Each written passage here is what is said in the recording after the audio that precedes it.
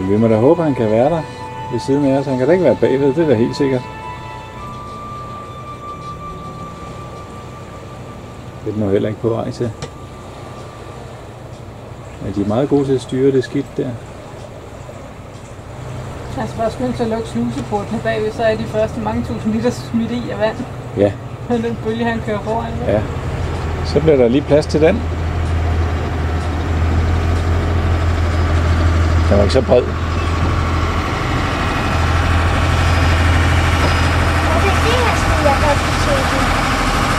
Men den fylder godt alligevel.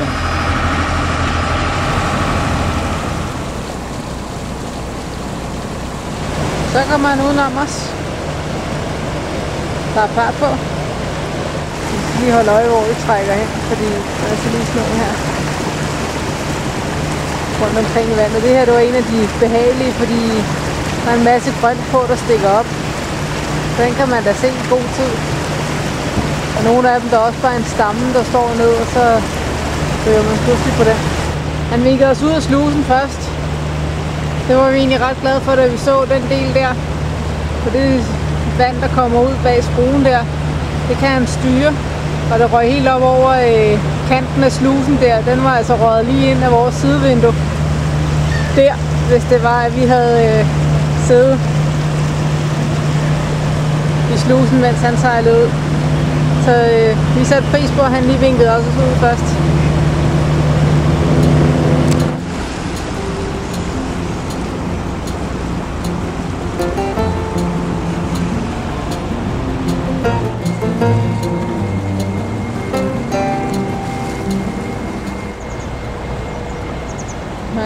Blomster op på broen.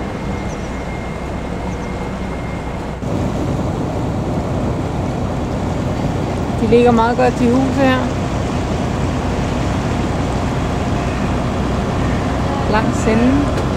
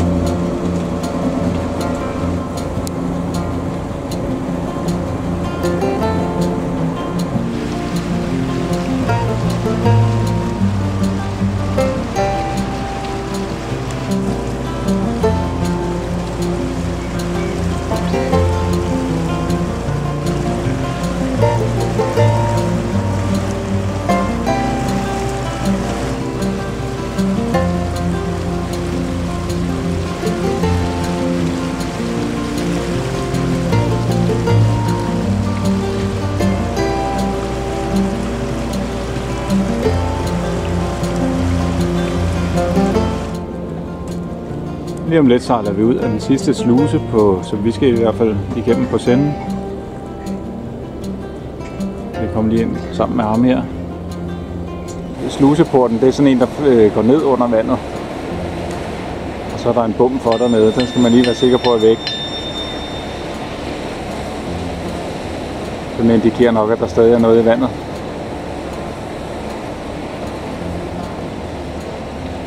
Jeg går ud fra, at han er en kender bare gøre klar.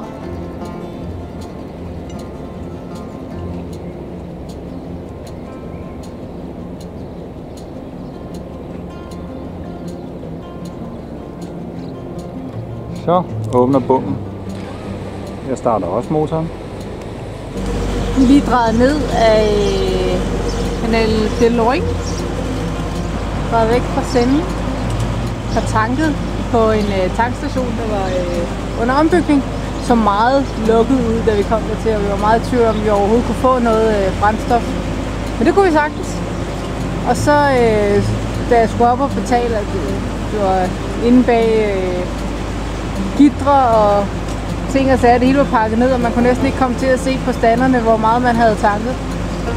Så får jeg øje på en butik på den modsatte side af vejen, hvor at det også er pakket ned, og man kan se, at de har en masse bådprodukter derinde. Og spurgte ham, om han så havde en, en shop. Ja, siger han, så skal du derind? Og så siger han, har du nogle af de her Fluvia-karte? Ja, nå, så kan du bare komme over i den anden butik. Så har jeg sådan en her.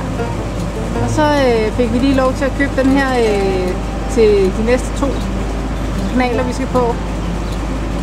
Øh, tre faktisk. Så øh, nu har vi kort til resten af, af turen, vi skal bruge.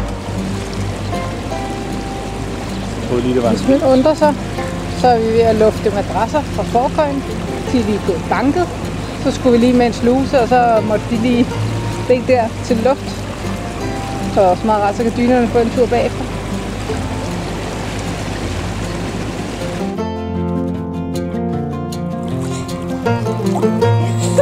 Ah, der svømmer. Er. Sliver og svømmer.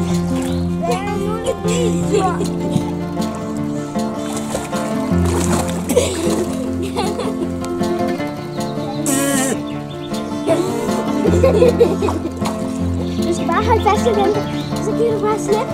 Mm. Så kan du lige slippe med den der. Oh, ja, prøv at du slipper, og så skub dig ud med det. Strandmand. Der er ingen brandmænd i floderne nu. Og hører også, hvis der ikke er nogen vandmænd, så er der heller ikke nogen brandmænd. De er familie. Øh, se, jeg dræber mig. Det er meget nemt at sig.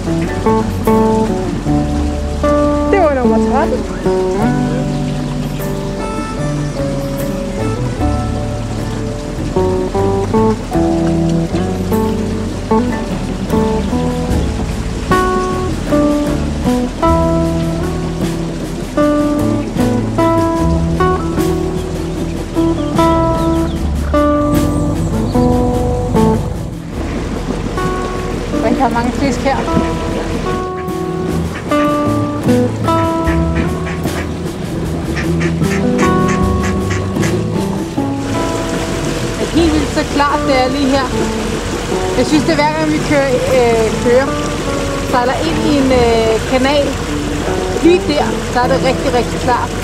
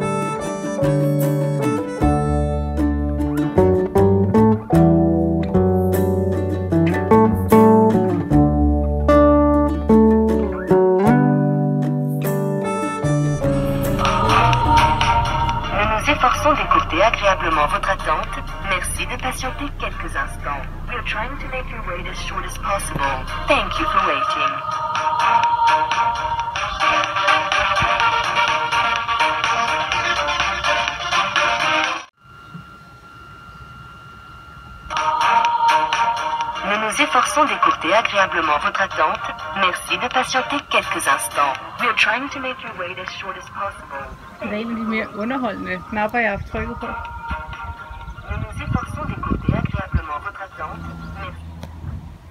Så fik slusemanden lige ordnet det.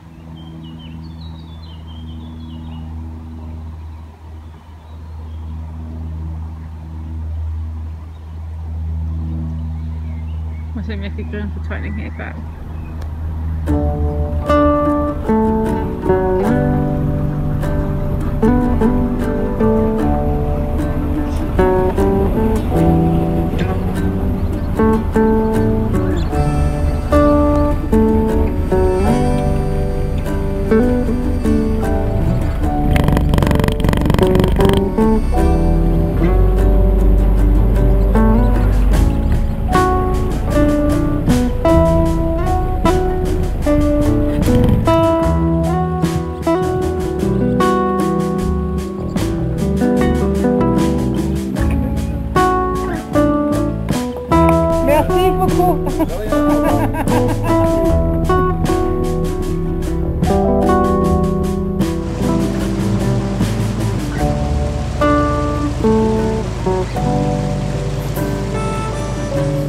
Vil gerne lave hyldebærsaftevand, så det er vi i gang med at koge lidt vand til. Og vi Og spiser så også så vandmelon. vandmelon. Hygger.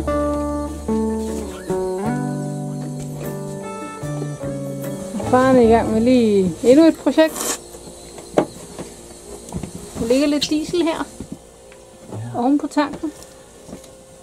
Og det ser ud til at skyldes, sådan, at skruerne efter mange sejltimer er ruslet, løs, rastet løs. Er det øhm, tang, vandplanter eller tank, du mener? Det er en dieseltank. Ja, der er en dieseltank hernede under. Der er cirka 200 liter nyindkøbt diesel. Og nu er det blevet simpelthen så lækkert, at det ligger og render ud og ligger der, hvor det blev lagt. Men jeg tænker, vi prøver at efterspænde de her, og så øh, tørrer vi det op, og så ser vi, om det har hjulpet.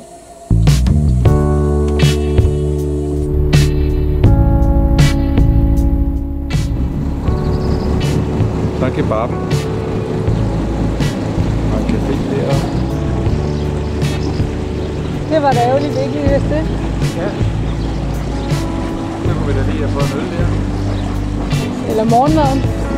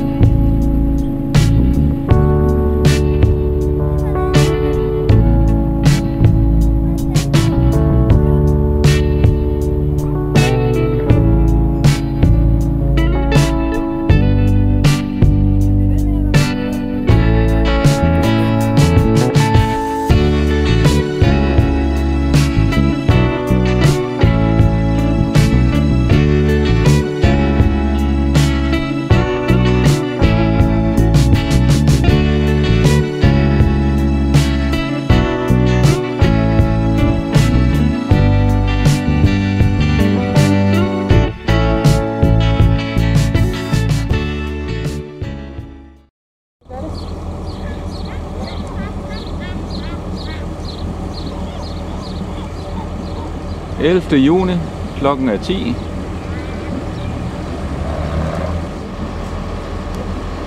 Vi har aftalt med VNF-manden at mødes klokken 10, og han er der allerede og har åbnet slusen. Man kunne se noget.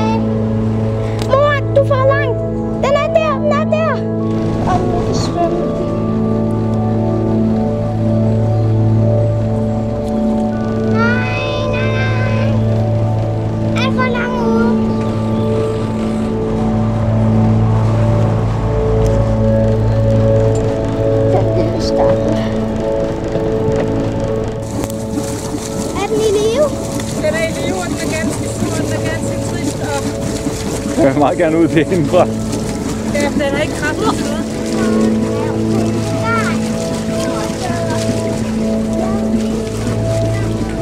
Jeg hopper på dig.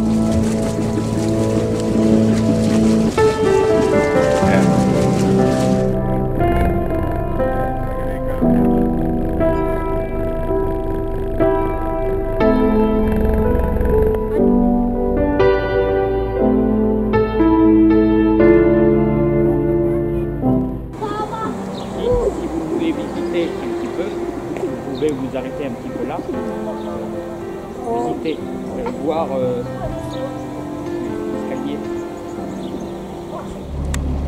Den gamle slusetrappe her.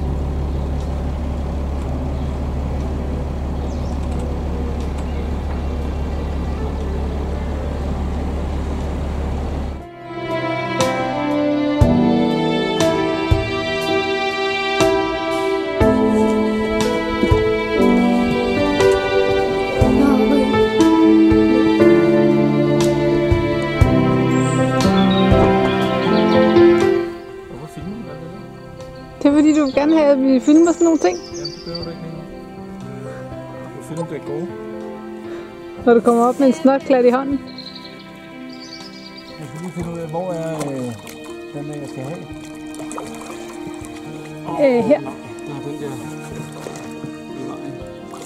Der er sprækken. Så er du ned under vandet. Kan du komme til at løfte det der felterbræt op? Jeg kan mærke noget græs. Er der nogle enkelte krabber i. Skal du bruge basten? Jeg kan ikke se en skid af, hvor det er. Jeg må lige lave et mærke på gulvet.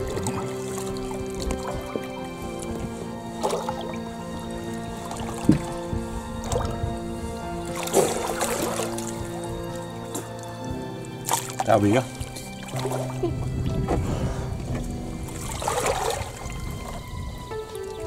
Så vil jeg godt låne børsten.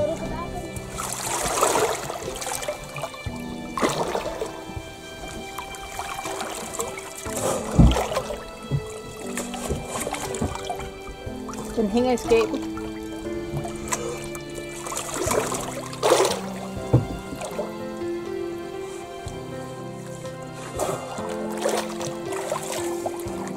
Jeg kan ikke mærke mere på den lige nu. Nej. Men du kan mærke sin.